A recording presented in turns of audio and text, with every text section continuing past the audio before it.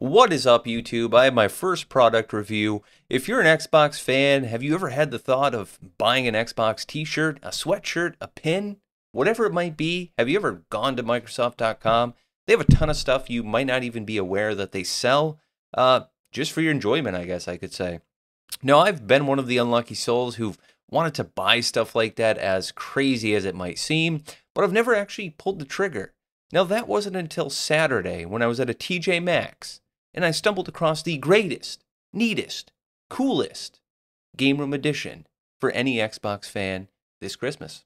What I'm talking about today is the Xbox official gear icon lights. Now, you might be saying, why do you need this? That's a heck of a good question, but you do. Now, inside this box, we're going to see a, I would say, five foot long micro USB cable, which is kind of cool because most of these products that, you know, come out of China or wherever, whatnot, they come with like a two foot USB cable. You just throw that thing, it goes in the landfill. So tisk tisk. Now, we open the box. Like I said, we get the USB cable and we actually get the unit itself. So it's pretty cool. Um, it's very, you know, it's all plastic, nothing, you know, no good materials. The base isn't metal or anything. Doesn't have much weight to it. Um, the cool thing about it is you can actually power it with the micro USB. And, and let me warn you about these suckers. If you've ever done any Kindle repair or anything like that, these are the first thing to break. So be very cautious if you're doing micro USB to this device.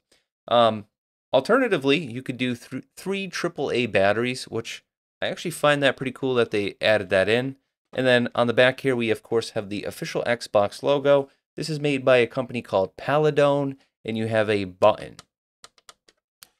So pretty cool, and uh, you know I like it. It's it's been a nice addition. So let's check it out. Let's see if it's something that you think is cool. If you'd be interested in buying it or not.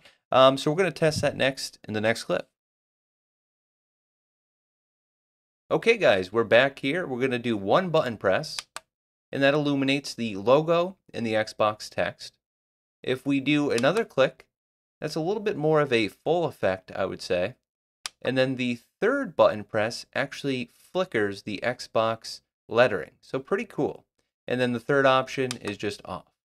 Okay guys, that about wraps it up for the Xbox icon light. This thing is really cool, it has a few different features. You can power it with micro USB, with batteries, which I would say to use. I plugged this in and it was actually very, very difficult to plug in and made this weird noise. So it does work, so just be careful with that. Now I paid $14.99 for this sucker uh, at TJ Maxx. It retails for $22 apparently. I did look online. It wasn't Microsoft, but it was a different retailer that wanted $34.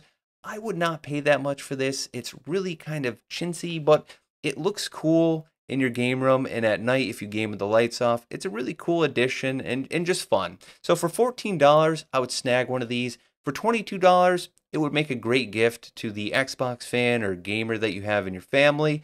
Um, but outside of that, I would never pay $34 for it. I hope you like this. If you've ever purchased anything through Microsoft.com or another retailer that's an official Microsoft product, I'd like to know what the quality of the t-shirts or the sweatshirts are, and just what was your all-around experience. If you've enjoyed this video, throw me a like and feel free to subscribe. Thank you guys, and as always, have a great day.